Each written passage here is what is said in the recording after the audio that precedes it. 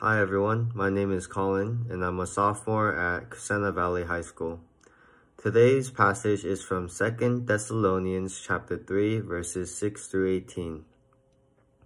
In this passage, it said to never be idle, and something I realized about myself is that I tend to be really lazy and push things back to a later date, so I don't do anything that day.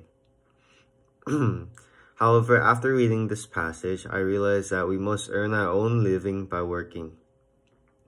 Through working, we can set an example for others to follow, and through this, we can warn them of idleness.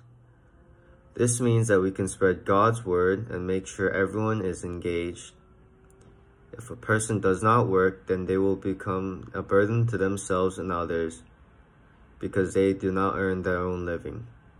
As I said before, for those who are still idle and do not work, we have to set a good example for them so they can follow us.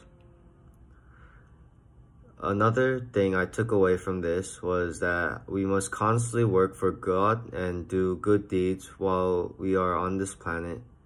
And we must always remember that Jesus is with us all the time and we are loved by him.